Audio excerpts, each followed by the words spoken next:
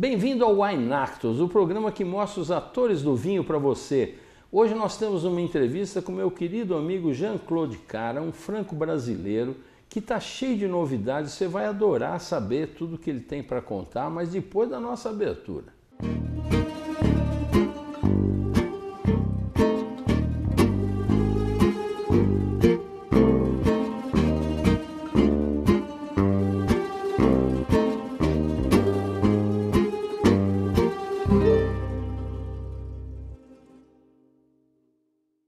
Jean-Claude, meu amigo, merci beaucoup. Encantado de estar com Olha, você, Didu. obrigado Muito por feliz. essa. Você trouxe um vinho, vamos fazer um brinde aqui? Santé. Você trouxe um vinho que você fez lá, lá Esse- em Bonn. Isso, na, é, em Bonn, ao lado de Bonn, em Savigny-le-Bonn, é, eu tenho parceria com uma vinícola lá e essas uvas vieram do Beaujolais para ser vinificado na Borgonha, é, não, no centro da Borgonha, né, em Bonn, na capital do vinho. E, e a ideia é fazer um Beaujolais, eu sou apaixonado pela uva Gamay, né, é a uva que, que para mim, para todo francês da antiga, né, do- é. os ancestrais, vamos dizer assim, é, que bebe no seu dia a dia, né? Hoje ela, infelizmente, foi Vive um desprestígio errôneo, né? errôneo, né? E hoje a região começa a voltar, né? Diz Mas que o superaquecimento também está propiciando valorizá-la, é verdade? Não? não é o contrário. Ah, é? É o contrário. Não. Na verdade, a Borgonha do Norte, né? É. Onde hoje nós temos a Côte d'Or, que deveria plantar a, a, o gamay. Tá, mas não quer nem saber. Não quer Não porque, aceita. do mesmo jeito que tornaram ela infame, É. Hoje Agora- você não pode dizer que um, Que é um, bárbara, um é. Grand Cru vai ser feito com É. a Gamay. O, o, o Chambertin Grand Cru, por exemplo, foi classificado, classificado Grand Cru no século XIV com a uva Gamay. Ah, é? Não diga. Sim, a Borgonha toda era plantada em Gamay em período quente. Olha só, gente. Em período frio, os monges passavam ao Pinot Noir. É que o mundo conheceu a Borgonha, o marketing, o business, o comércio, fase de frio. no frio, no período frio. Olha que né? interessante. essa Século, é, hein? século XVI até os dias de hoje, período frio. Hoje nós já estamos há 50 anos aí galgando para a entrada do período quente, que é a cada 400 anos na história.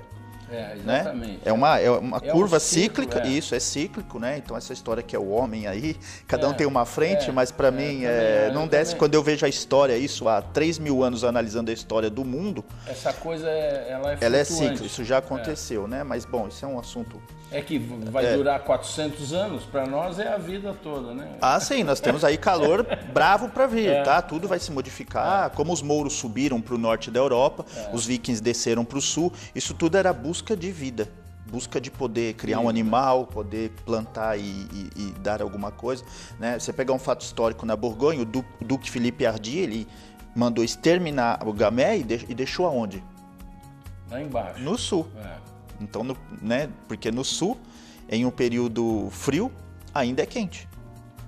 Que interessante isso, não? Então, é, e por isso que nós temos na Borgonha para tinto Gamay e Pinot Noir, e para branco Aligoté e Chardonnay. É. E a prova disso é que os Aligotés hoje, de 10 anos para cá, vêm fazendo vinhos É, extraordinários. tá, tá ganhando um prestígio Por quê? enorme. Porque era a uva que deveria substituir a Chardonnay. Olha que Porque, por isso que ela é ácida e foi menosprezada também. Né? Fizeram Kir com ela, né? É. colocando cassis, porque é uma uva ácida. Então, em períodos frios, é impossível você fazer um bom vinho com a Ligoté. Olha só. né? Mas agora no período quente, Tá os monges usavam ela em períodos quentes, não usavam a Chardonnay. E por isso que Chardonnay e Pinot estão em Champagne. Olha que É a legal dança isso. que os monges faziam entre o norte e o sul, período quente período frio, Muito legal. né? Então em um período quente, Chardonnay e Pinot fazia grandes vinhos, tanto que tem o Grand Cru, o Premier Cru de Champagne. É. Por quê? Porque os grandes vinhos tranquilos eram feitos em Champagne para os monges, Pinot e Chardonnay. E quando era o período frio, Pinot e Chardonnay descia e lá ficava Pinot Meunier e outras uvas. Só que aí depois veio o fenômeno né, do aparecimento do, do, do champanhe, que foi um acidente que os ingleses pediram para colocar açúcar, aquela coisa, e foi justamente num período frio. Por que os ingleses pediram para fazer aquilo? Porque o vinho era insuportável. Pinot e Chardonnay naquele frio, naquele período frio, Devia ser um horror. insuportável, de acidez, de pouco pouco a fruta, pouco. E eles gostavam, então pediram para colocar açúcar, igual fizeram no Porto. Criaram acidentalmente o vinho do Porto, criaram acidentalmente o vinho de champanhe. Então, assim, são, tudo explica. A Borgonha ela se explica no clima. Né? Se você não, não compreender o clima, você não pode falar da Borgonha. A Borgonha não é a gente falar de rótulo, de produtor, é, né? é falar de clima. É, Se você tem... compreender o clima, o terroir, que é. pra gente lá é terroir, é uma coisa é, normal, né? efêmera, né? normal, é. é, é o grande. Né? O terroir da Borgonha é Codó, por e exemplo. Até o clima, O né? clima, a, a gente fala de clima. É, né? Exatamente. Porque é tudo muito minucioso. E isso, um vento muda tudo, um solo muda tudo, uma exposição, enfim. É, essa Escuta, é a magia. você falou aí, passou por champanhe, você está fazendo isso aqui é o que? É um, é um... Esse é após o falecimento da minha mãe, eu decidi fazer uma homenagem para ela, a Claudete Maria. É. é o lado brasileiro que eu tenho a minha mãe. Meu pai é francês, o, que também nos deixou agora há alguns meses. E minha mãe brasileira, eu fiz essa homenagem, eu coloquei Claudete Marie. Que bacana. Né? A minha mãe, ela gostava muito da... E é feito aonde?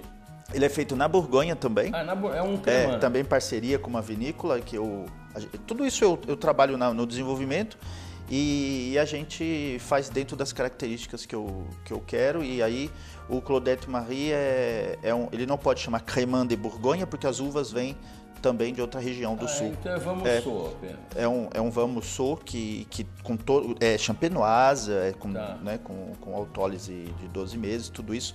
Um grande espumante mas não pode chamar Cremant, apesar de ser feito na Borgonha. O Jean-Claude, me conta, a gente, o Jean-Claude tem tanta coisa para falar, é tanta informação e cultura que a gente acaba atropelando.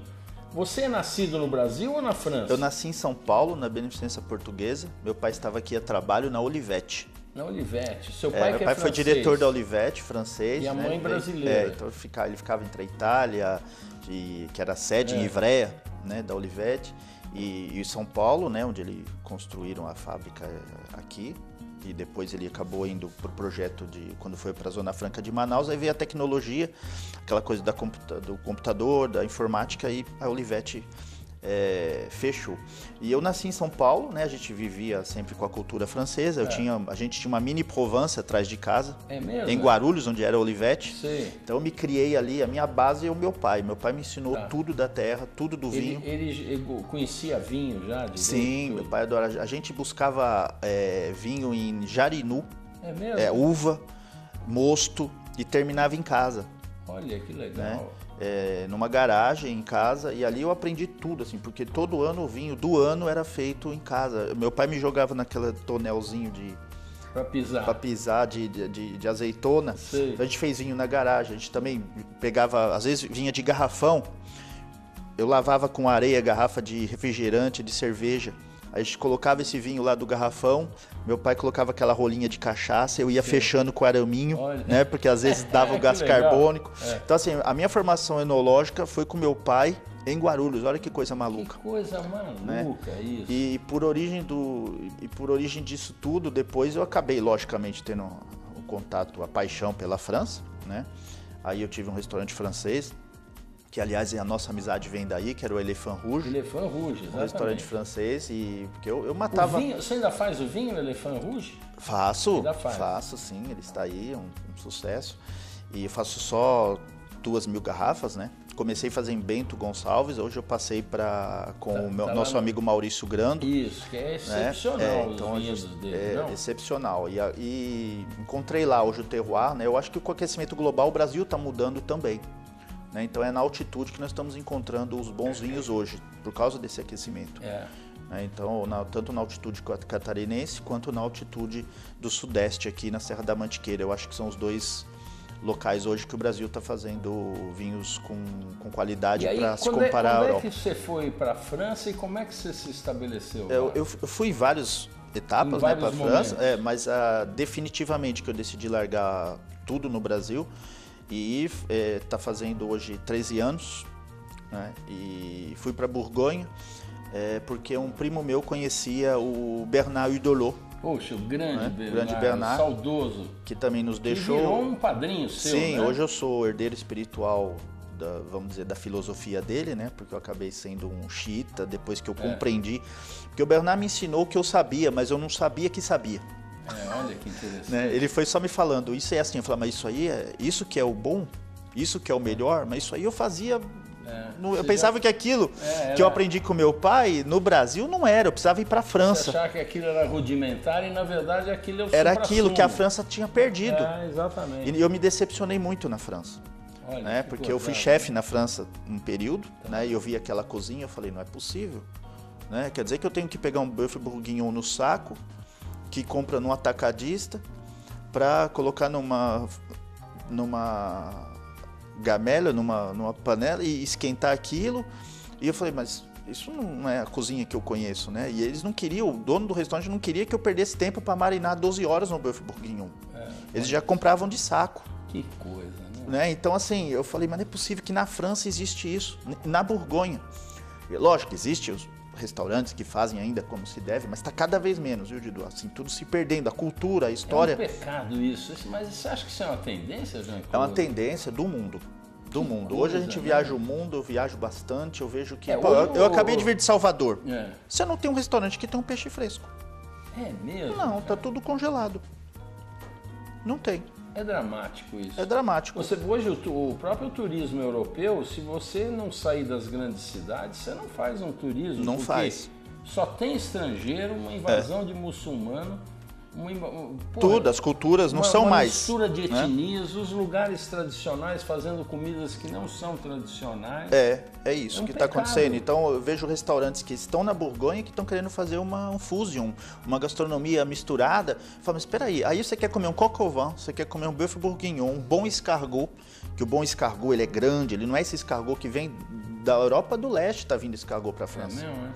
Né? Pequenininho, aquela coisa. Então assim, é, que pecado, né? É triste o que está acontecendo é com as triste. culturas a nível mundial. E eu sou um defensor, você sabe disso, né? Eu, o vinho para mim é uma coisa que eu defendo com unhas e dentes. É, a cultura, a defesa do ancestral. E o ancestral hoje é impossível, é times money. É. A indústria do vinho não, não vai suportar fazer vinho de verdade. Por quê? A partir de um milhão de garrafas já, primeiro que você não consegue cuidar de um vinhedo olhando pé claro, por pé claro, a doença. Claro. Então você tem que passar um trator, você tem que colocar um pesticida, um fungicida, um herbicida. É. Nisso você já mata o quê? É. Você já mata a levedura. É isso aí. Se eu matei a levedura, eu já não tenho uma fermentação espontânea. É. Se eu não tenho uma fermentação espontânea, para. Para mim, Acabou, eu não considero vinho. Não é vinho. Eu não considero vinho. É. Aí depois vem a filtração. Porque o americano, o consumidor moderno, a primeira coisa que ele faz é. Né, se aprende até nas escolas. O europeu não faz isso. O verdadeiro vai nunca fazer isso. Ele põe na xícara, num copo e bebe. É né? Essa coisa de degustação é dos ingleses, não é do europeu, não é do francês, não é do italiano, não é do espanhol. Eu nunca vi um senhor de 60, 70, 80 anos, meu pai, meu avô, eu nunca vi fazer isso, olhar a cor é, de um vinho. É. Então isso quem inventou foi o inglês. Que, que não, não, tinha vinho. Que não é da cultura do vinho. É. Então a própria degustação, o primeiro livro que explica aroma, sabor é inglês. Incrível isso, né? né? E que ao mesmo tempo estabulou Sim. as coisas com informações que nem sempre são autênticas, né? Que com não, certeza. Não respeitam um determinado clima. Não, hoje é, a gente mistura tudo, né? Eu sou contra também o vinho de blend, apesar de fazer o vinho assemblagem. Por quê? Porque você perde o terroir, né? Se um vinho veio de vários locais, eu não tenho autenticidade, né? De um local, de uma uva. Então eu não identifico aquilo. Então, cada ano eu faço um vinho diferente. Então, eu diria que foi a primeira química do vinho. Tirando ali Portugal, esses lugares mais nativos onde a gente tem a uva, não sei nem o que uva é. É, Portugal né? ainda é um reduto que hoje de autóctones, estão, é, né? valorizando essa coisa. Gente, olha, então é o seguinte, esse aqui é o Jean-Claude Cara, como eu falei para vocês, nós vamos continuar aqui, você vai ver numa outra semana. Acompanhe aí a nossa programação na Chef TV, acompanhe o Winactus, porque aqui é muito conteúdo para a gente eh, encerrar e ele ir embora. Eu não, não, não consigo, tá certo?